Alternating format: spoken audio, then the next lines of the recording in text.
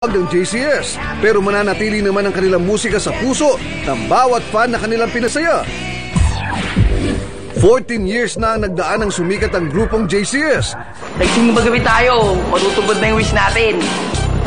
Ayun ako pare, hindi na Ngayon, yan. si John ay mainstay Ano ng naman Banana nasabi? Split. Kasi dati, nakabuo na ako ng simbang gabi. Ang wish ko, magandang asawa. Honey, let's go na. Natupad ba? At tumatak na rin bilang isang magaling na mananayaw na napapanood rin sa ASA. Si Carlo naman, patuloy sa paglabas sa mga teleserye at ilan pang proyekto. Nakaganti ka na. Ako naman. Ako naman yung mahalin mo, Stella. At si Stefano, ngayon ay kasalukuyang naninirahan sa Italia kasama ang kanyang mga magulang.